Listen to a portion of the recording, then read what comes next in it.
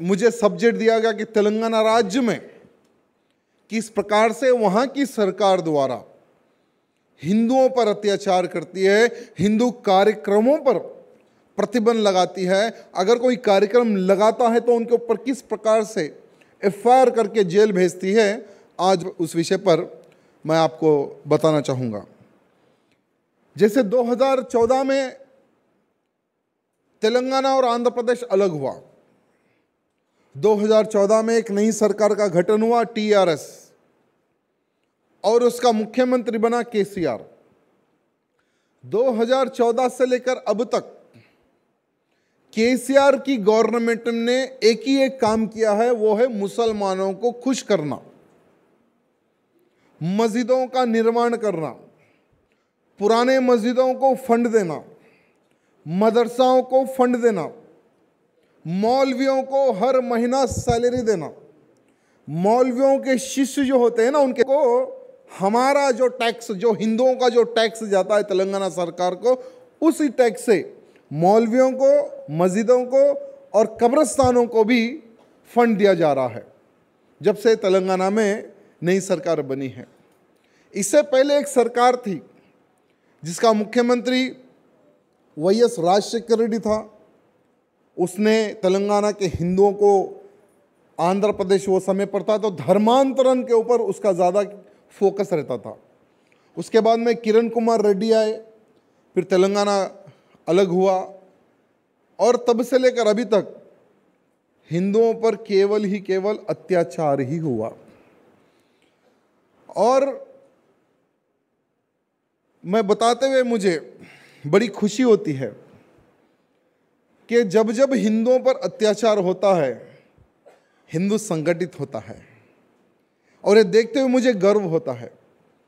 जैसे कुछ ही दिन पहले, यानी कुछ ही महीने पहले, एक मुनवर फारूकी का प्रोग्राम तेलंगाना राज्य में, जो तेलंगाना राज्य का जो मुख्यमंत्री है, उस बेटा है के टी आर बेटे ने उसका कार्यक्रम लगाया। बेटे को यह पता नहीं था कि मुनवर फारूकी हिंदू देवी देवताओं पर किस प्रकार से गंदे शब्दों का उपयोग करता है? उसने कार्यक्रम लगाया, बहुत सारे तेलंगाना राज्य के हिंदुवादी संगठनों ने हमने विरोध किया। विरोध के बाद में जैसे कंपटीशन जैसा एक माहौल पैदा हो गया तेलंगाना राज्य में। जैसे ईगोइज्म होता है ना, वैसा तेलंगाना राज्य का जो मुख्यमंत्री बेटा है, उसने कहा कि मैंने तो इसका कार्यक्रम लगाया और कार्यक्रम को तो कोई रोक नहीं सकता। क्योंकि सरकार उनके हाथ में है पुलिस उनके हाथ में है। जितने प्रयत्न हिंदुवादी संगठनों ने करना आ, किया उतना प्रयत्न किया है। सोशल मीडिया में मीडिया में प्रिंट मीडिया में बहुत उसका विरोध हुआ। दुर्भाग्य देखिए उसका कार्यक्रम हुआ कार्यक्रम में बहुत से बहुत दो से तीन हज़ार लोग थे वह भी सारे के सारे मुस्लिम। और उसके प्रोटेक्शन के लिए छः से सात हज़ार पुलिसकर्मी लगा दिए गए। जहाँ पे उसका कार्यक्रम था। हर रोड पर, हर चौराहे पर पुलिस ही पुलिस। एक आदमी के लिए आईपीएस और कमिश्नर जैसे बड़े बड़े लोग रोड पर खड़े हुए हैं। आईपीएस रैंक के डीसीपी, आईपीएस रैंक के कमिश्नर भी रोड पर खड़े रह के उसका कार्यक्रम करवाए। ठीक है, कार्यक्रम तो हो गया है। कार्यक्रम होने से पहले हमने एक वार्न किया था कि देखो भाई, जब तुम हमारे देवी देवताओं के ऊपर गलत प्रकार का बात कर सकते हो तो हम भी एक दो शब्द कह सकते हैं, सोच समझकर बोलना। ठीक है, वो कार्यक्रम में तो उसने हमारे देवी देवताओं पर कोई बात नहीं की, लेकिन जाते जाते एक दो चार शब्द उसने कहे। उसके बाद में हमने भी एक छोटा, एक कॉमेडी शो हमने किया था। तो कॉमेडी शो ऐसा हो गया कि वो बहुत एग्रेसिव हो गया। तो जितने जो मुल्ले थे, पूरे रोड पर आकर बैठ गए। कि भाई, अब तो हम राजा सिंह का सर तन से जुदा करेंगे। तो हमने कहा कि हमारी गर्दन कोई बकरी की गर्दन नहीं है जो कोई यहाँ के काट के ले जाए। बहुत विरोध हुआ। एक साइड हिंदू तो एक साइड ये चंगेरी टोपी वाले बहुत विरोध करे, पुलिस की गाड़ियों को जला दिए, जैसे एक दंगा जैसा माहौल पैदा किया। तो तेलंगाना का मुख्यमंत्री ने कहा कि भाई, इसको अंदर डाल दो। तो तुरंत सरकार ने मुझे अरेस्ट किया, कोर्ट ले गए। तो कोर्ट में भी मुझे एक बहुत अच्छा एक नज़ारा देखने को मिला, जो आदि वक्ताएँ होते हैं, वकील। वो लोग जितने, जैसे नामपल्ली एक कोर्ट होता है, बहुत बड़ा। हिंदू एक साइड और मुस्लिम्स एक साइड, आदि वक्ताएँ। मेरे समर्थन में सारे हिंदू वकील खड़े हो गए। सारे के सारे। और दूसरे साइड मुस्लिम्स जितने एडवोकेट से सारे खड़े हो गए। अब पूरा कोर्ट में आजू बाजू माहौल तो बहुत खतरनाक हुआ कि राजा सिंह को अब जेल भेजने वाले हैं।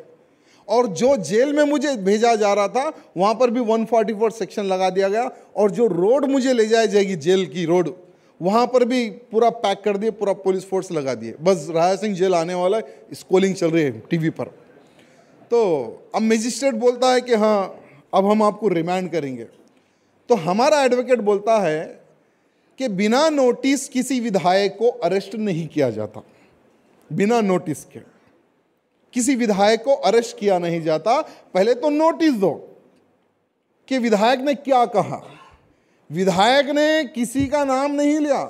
हम भी थोड़ा पॉलिटिक्स सीख लिए अभी। अभी भी सीख लिए, क्योंकि केसों पे केस केसों पे केस ज़्यादा हो गए। तो बिना नाम लिए हमने सब कुछ कह दिया। तो मजिस्ट्रेट को जब हमारे एडवोकेट सारे लोग ठहर कर आर्गूमेंट करने लगे कि भाई, अगर आप इनको रिमांड करोगे तो मजिस्ट्रेट साहब, आप भी जेल जाओगे। यानी सुप्रीम कोर्ट का एक कानून है। बिना नोटिस के किसी विधायक को जेल नहीं भेजा जाता।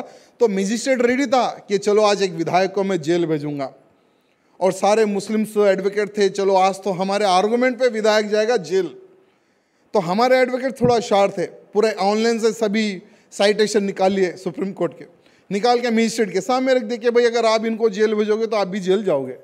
अब मजिस्ट्रेट धर्म संकट में फंस गया कि क्या करे? अगर अंदर जाओ भिजोंगा तो मैं भी जाऊँगा इसके पीछे पीछे। तो दुर्भाग्य देखिए, जो मजिस्ट्रेट पाँच बजे, यानी पाँच से अगर पाँच दस हो जाते तो मजिस्ट्रेट उठकर चले जाता है घर। मेरे लिए आठ बजे तक मजिस्ट्रेट बैठा हुआ है। और उसके उठकर चंबर में जाकर सभी को बुलाता है कि भाई देखो, कोई कानून में लिखा है क्या कि इसको हम जेल कौन सा एंगल से भिजा सकते हैं? यानी हर एंगल उन्होंने चेक किया। भाई भिजाना तो मुश्किल है, क्या करें अब? भाई चलो, छोटा सा एक वॉन करके इनको छोड़ देते हैं। तो छोटा सा एक पेपर में मुझे लिखा लिए कि नेक्स्ट टाइम मैं इस प्रकार का भाषण, इस प्रकार का वीडियो नहीं बनाऊँगा। तो हमारा एडवोकेट बोले, लिख के देने में क्या गया लिख के दे दो। तो लिख कर दे दिए उस दिन, यानी 21 तारीख थी, उस दिन तो मैं रिहा रिहा हो गया।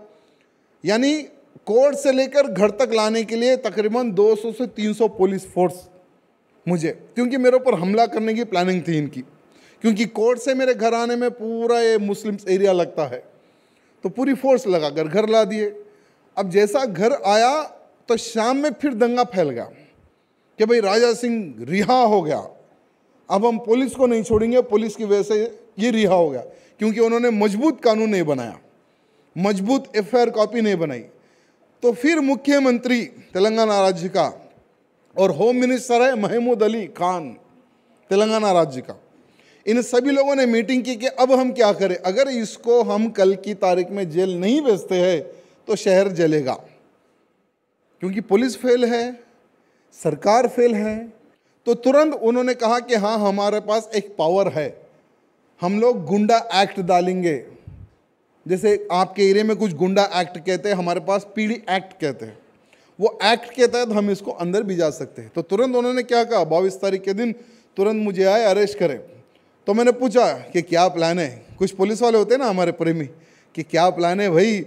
नहीं सर पीढ़ी एक्ट रहे हैं। बोला, अरे यार, बहुत छोटा केस लगा है। अगर आप लोग बोलते तो मैं एक बड़ा केस ही कर देता था।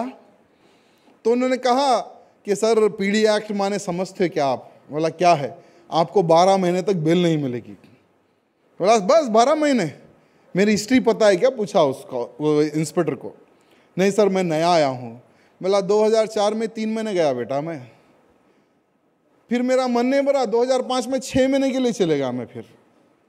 फिर उसके बाद में कभी 45 दिन, कभी 40 दिन, कभी 15 दिन कंटिन्यूस है बहुत कंटिन्यू है। यानी जब आंध्र प्रदेश गवर्नमेंट थी, तब हम लोग कन्वर्शन के खिलाफ गौरक्षा करते थे, गौ हत्या के खिलाफ लड़ाई लड़ते थे, वो समय पर कईयों बार आना जाना रहा। और इस बार 77 डेज़ रहे, यानी विधायक बनने के बाद पहली बार ज़रा ज़्यादा लंबा गया मैं अंदर। 77 डेज़ अंदर आराम करा मैं। ये लोग सोचे कि हम लोग डर जाएँगे, जेल जाएँगे तो डर जाएँगे। लेकिन जेल में बहुत आराम करने को मौका मिला मुझे। यानी मैं कहता हूँ कि जेल मेरे लिए फार्म हाउस है। और उसी तरह से हम लोग जेल में रहे। जेल से बाहर आने के बाद में एक बहुत अच्छा माहौल क्रिएट हुआ। लोग सोचे कि भाई, विधायक है, शेर के बारे में सोचेंगे कुर्सी के बारे में सोचेंगे, क्योंकि बीजेपी ने तो नेक्स्ट डे सब सस्पेंड कर दिया है। अब ये डर जाएँगे, कोई कार्यक्रम नहीं करेंगे।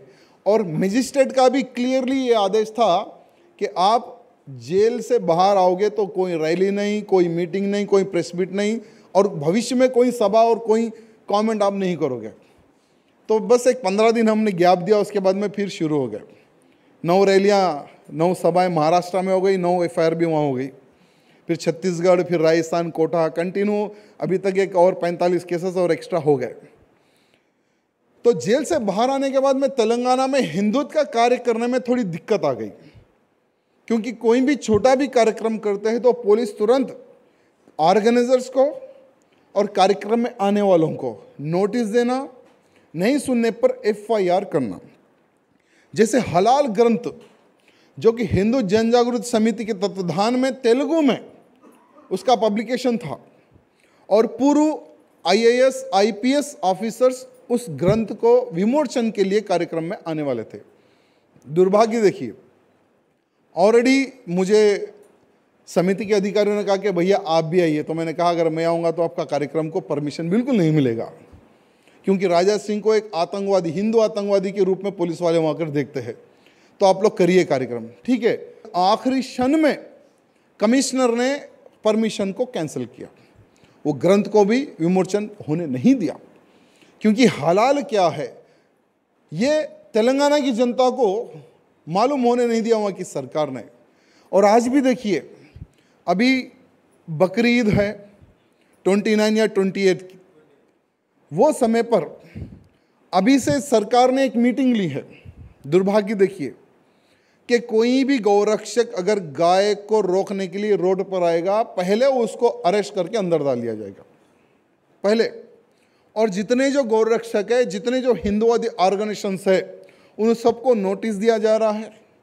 उन सबको बाउंड ओवर किया जा रहा है। कलेक्टर के पास ले जाकर उन सबको वार्न किया जा रहा है कि अगर आप लोग गौ रक्षा के नाम पर रोड पर आओगे तो तुम्हारी शीट हम खोलेंगे रोडी शीट और तुम्हारे ऊपर एफआईआर करके कोई भी एक धारा ऐसी लगाएँगे कि आप लोग तीन महीने तक बाहर नहीं आ सकोगे, हम तुम्हें अंदर डाल दी जाएँगे। इस प्रकार का एक, यानी हिंदुओं पर जितना अत्याचार शायद तेलंगाना में हो रहा है, बंगाल में हो रहा है, केरला में हो रहा है, किसी राज्य में नहीं हो रहा है, ऐसा मैं समझता हूँ। बहुत ही अत्याचार हो रहा है तेलंगाना में। साथ ही साथ आने वाला जो समय है, हमारे हिंदुओं के ऊपर बहुत ही एक भयंकर समय आने वाला है। जैसे पिछले अधिवेशन में भी मैं कहा था कि अगर हिंदू सोशल मीडिया के हद तक अगर सीमित हो जाएगा तो कभी वो हिंदू राष्ट्र के लिए कार्य नहीं कर सकेगा। हमें एक जागरूकता पैदा करने की आवश्यकता है अपने अपने राज्य में, अपने अपने क्षेत्र में। अगर हम सोशल मीडिया के माध्यम से हिंदुत्व को जगाने का अगर हम प्रयत्न करेंगे तो हिंदू जागेगा बरोबर, लेकिन तुरंत कुंभाकरण की नींद सो जाएगा। क्योंकि हमारे हिंदुओं में एक आदत है, जागो फिर सो जाओ, जागो फिर सो जाओ। क्योंकि हिंदू को आने वाले कल का, वो पता नहीं है उसको कि क्या होने वाला है कल। अभी देखिए, नांदेड़ में गौ रक्षा करने के लिए कार्यकर्ता रोड पर आए। तेलंगाना से नांदेड़ जा रहे थे। एक कार्यकर्ता को मार दिया गया और छह कार्यकर्ता घायल है। राजस्थान में सिर्फ़ सोशल मीडिया के माध्यम से नुपुन जी को सपोर्ट करा एक टेलर ने, उसका गर्दन काट दिया अनेकों क्षेत्र में, अनेकों राज्यों में हिंदुओं के मर्डर्स हो रहे हैं। टारगेट करके उनको मारा जा रहा है। क्या हिंदू मरने के लिए पैदा हुआ है क्या? मरने के लिए हम पैदा हुए क्या? आज हम भारत में सौ करोड़ हिंदू है, ऐसा हम कहते हैं। तो सौ करोड़ हिंदुओं में क्या हम एक करोड़ हिंदू को क्या हम नहीं जगा सकते हैं क्या? क्या और बाकी के जो नव्वद करोड़ जो हिंदू है, क्या वो नपुंसक है क्या? आज मैं पूछना चाहता हूँ, अगर सौ करोड़ हिंदुओं में अगर हम एक करोड़ हिंदू को भी इकट्ठा करने में अगर कामयाब हो गए, जैसे इस मंच के माध्यम से भाई साहब बता रहे थे, कि अगर हिंदू इकट्ठा होता है तो औरंगाबाद का भी नाम संभाजी नगर हो जाता है, अगर हिंदू इकट्ठा होता है तो। तो अगर भारत में हिंदुत्व को सुरक्षित रखना है, भारत को अगर अगर भारत में हिंदुत्व को अगर सुरक्षित रखना है जहाँ जहाँ पर भगवाधारी लोग बैठे हुए हैं योगी जी से प्रेरणा लेने की आवश्यकता है। कि अगर हिंदुओं को मारा जाएगा गाय को काटा जाएगा मंदिर को तोड़ा जाएगा लव जिहाद करेगा तो उसका क्या हाल होगा? ये प्रेरणा लेने की आज आवश्यकता है नहीं तो। ऐसे ही मारे जाएँगे मरते जाएँगे कार्यकर्ता। डरते जाएँगे कार्यकर्ता, जेल में जाते रहेंगे कार्यकर्ता। आपको पता है, जब मैं जेल में था तो तीन आतंकवादी मेरी प्रतीक्षा कर रहे थे कि कब राजा सिंह बाहर आएगा। और उन तीन आतंकवादियों में से एक आतंकवादी ऑलरेडी बम ब्लास्ट में सत्रह साल जेल काटे सो है। सत्रह साल एक आतंकवादी जब टास्पोस पुलिस पुलिस के ऊपर ही उसने बम फेंक दिया। बम ब्लास्ट हुआ। तो तीन पुलिस वाले मारे गए और उसमें एक आतंकवादी भी मारा गया। बम प्लांट करने वाला अरेस्ट होता है। सत्रह साल जेल में रहता है। सत्रह साल जेल में रहने के बाद में जब बाहर आता है, फिर वो प्लानिंग करता है। पाकिस्तान से तीन हैंड ग्रेनेड लाता है वो। आरडीएक्स का बंदोबस्त करता है वो। उसका प्लान होता है कि हमारे इस जो त्यौहार होते हैं ना, हिंदू त्यौहारों पर ब्लास्ट करना है और राजा सिंह के ऊपर बम फेंकना है। जब वो लोग अरेस्ट हुए, जब इंट्रकेशन हुआ तो दुर्भाग्य की बात है। तेलंगाना की एस बी यानी होती है ना इंटेलिजेंट गवर्नमेंट बैठी हुई है, पुलिस के बड़े अधिकारी, जब उन्होंने ये कहा कि हमारी यही दो ही दो ही टारगेट थे तो दुर्भाग्य है, उनका स्टेटमेंट बाहर आने नहीं दिया। कम से कम मुझे सूचित तक नहीं किया गया कि भैया, ये तीन जो थे, ये आपके लिए भी थे। तो मुझे उसमें से एक ऑफिसर वो मुझे आकर कहता है कि भाई साहब, ये जो तीन थे ना, उसमें से एक जो बम था ना, वो आपके लिए भी था। तो मैंने कहा कि अरे वाह, ये तेलंगाना में ऐसी भी सरकार है जिसको लोग मारने के लिए सोचते हैं। कम से कम उस व्यक्ति को बताया भी नहीं जाता कि भाई थोड़ा सावधान रहो। वो भी बताया नहीं जाता। ये तेलंगाना की सरकार के ये काम इस प्रकार से है। मैं आप सबसे निवेदन करना चाहता हूँ, आपको कुछ कार्य करने की आवश्यकता है। अगर हमारे भारत को, पूरे विश्व को हिंदू राष्ट्र बनाना है, पहले तो साधना। और भगवान में लीन हो जाओ, प्रार्थना करो। क्योंकि हम जितनी साधना करेंगे, जितना भगवान के चरणों में ध्यान करेंगे, उतने हमें शक्ति मिलेगी। और साथ में एक एक चाहे वो नारी हो या एक एक नौजवान हो, अगर कोई हमारे पे हमला करता है तो दस जनी को कम से कम हम मार सके, अपने आप को बचा सके, अपने मोहल्ले को बचा सके। आपको ये ट्रेनिंग अभी से लेने की आवश्यकता है। क्योंकि हिंदू राष्ट्र बनेगा, कोई रोक नहीं सकेगा, क्योंकि आने वाले समय में, यानी 2024 के बाद में, भारत का हर वो हिंदू खड़ा होगा और हिंदू राष्ट्र के लिए आवाज़ उठाएगा। जब हिंदू राष्ट्र की आवाज़ उठेगी तो ये मत सोचो कि ये मुसलमान खामोश बैठेंगे। ये लोग भी इनकी ऑलरेडी योजना बना के रखे। कि अगर हिंदू राष्ट्र की ओर अगर देश जाएगा, अगर हिंदू जाएगा तो हमें क्या करना है?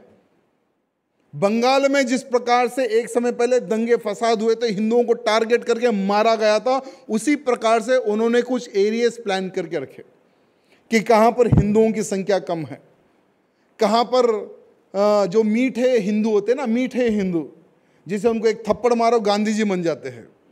ऐसे भी हिंदू कहाँ कहाँ पर रहते हैं, वो भी एरिए प्लान करके रखे हैं उन्होंने। जिस दिन भी ये लोग उठेंगे ना, हिंदू बहुत मारा जाएगा। जब आप कुछ नहीं कर सकोगे, हम कुछ नहीं कर सकेंगे, क्योंकि हम लोग कुंभकर्ण की नींद सो रहे हमारा हिंदू समाज भी सो रहा है। इसलिए आज उठने की आवश्यकता है, जागने की आवश्यकता है। और हर मोहल्ले में सपोज़ अगर एक हज़ार जनी का अगर मोहल्ला है, वहाँ पर कम से कम एक सौ जनी को ट्रेन कर दो। लट हो, जूडे हो, कराटे हो, अनेकों प्रकार की विद्या अगर हम उनको सिखा सकेंगे तो वो 900 की रक्षा कर सकेंगे। सिर्फ़ बचाव की बात कर रहा हूँ मैं, क्योंकि हम लोग किसी को मार नहीं सकते उनका जैसा।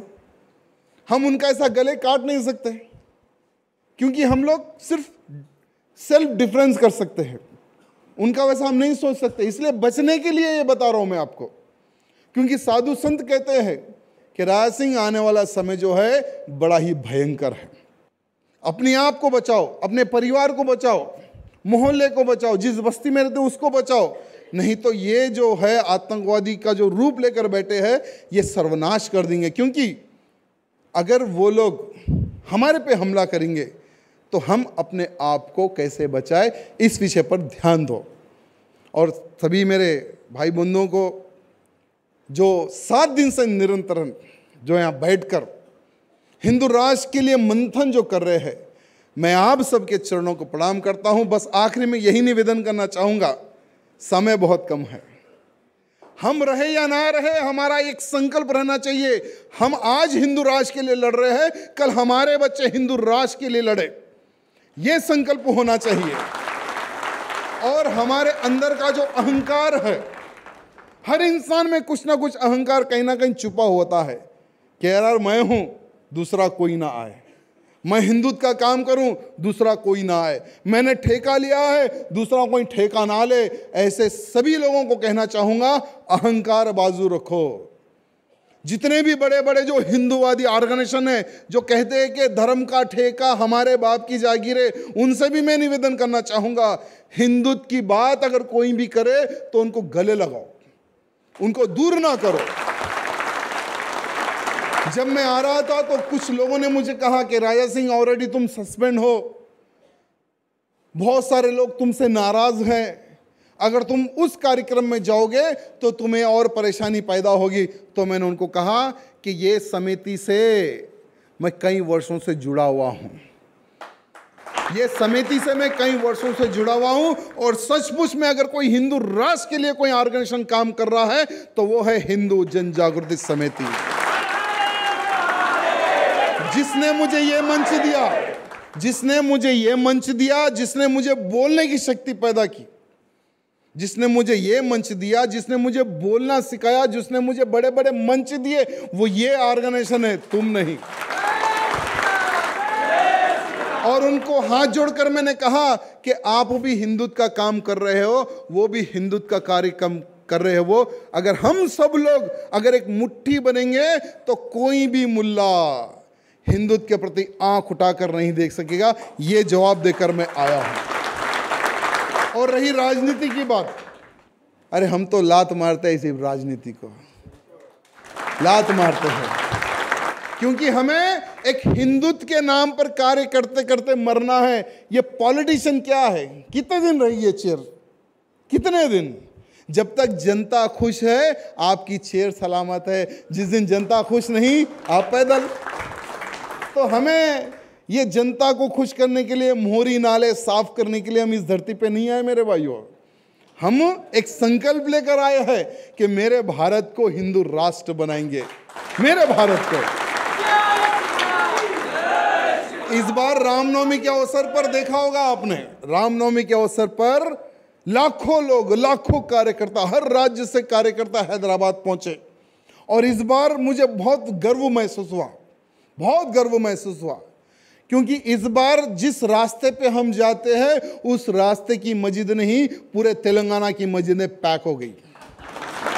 पूरे तेलंगाना राज्य की। क्योंकि पूरे तेलंगाना राज्य से एक एक रैली बनाकर कार्यकर्ता आ गए उस रैली में, रामनवमी शोभा यात्रा में। ये होता है हिंदुत्व का संगठन। डरो मत। जीवन में आज नहीं तो कल तुम्हें मरना है। जियोगे क्या? कितने साल जियोगे? पचास, साठ, सत्तर, अस्सी, नब्बे, सौ? उसके बाद मरना ही है ना? अरे यार, इतिहास लिख के मरो ना।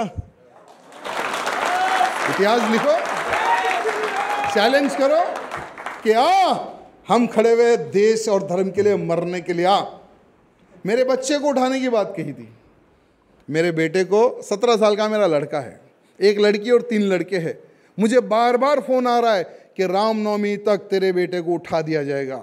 रामनवमी शोभा यात्रा इस बार नहीं निकालने तो हम खत्म कर देंगे। मैंने राइटिंग में पुलिस को कंप्लेंट दिया है। No F I R no inquiry तो जहाँ पर सबसे बड़ी मस्जिद तेलंगाना की है, वहाँ पर मैंने कहा कि बेटा रोक अब बताएँगे कमिश्नर को डीजीपी को कि हम क्या है? हम वो हिंदू हैं जो गुरु गोविंद सिंह जी ने अपने बच्चों का बलिदान दे सकते तो हम क्या चीज़ है? हम क्या चीज़ है? हमने भी हमारे बच्चे को बताया कि ये है मेरा बेटा, किसी में दम है तो आकर उठा के ले जाए। मेरे बाद ये हिंदुत्व का काम करेगा। मेरे बाद ये हिंदुत्व का काम करेगा। ये मरेगा तो और दो है उसके पीछे, वो भी हिंदुत्व का काम करेंगे। ये भावना हम सब में होनी चाहिए। ये भावना हम सब में होनी चाहिए। और फिर से एक बार रिक्वेस्ट कर रहा हूँ, सोशल मीडिया में हम प्रचार कर सकते हैं, लेकिन हिंदुत्व को अगर जगाना है तो हमें रोड पर आना पड़ेगा। हमें रोड पर आना पड़ेगा, तभी हिंदुत्व जगेगा और ये मुल्ला डरेगा। नहीं तो 2024 के बाद बहुत ही भयंकर समय आने वाला है। उस समय को रोकने के लिए हम क्या कर सकते हैं, उस उस विषय पर विचार करें। धन्यवाद। जय सिया राम।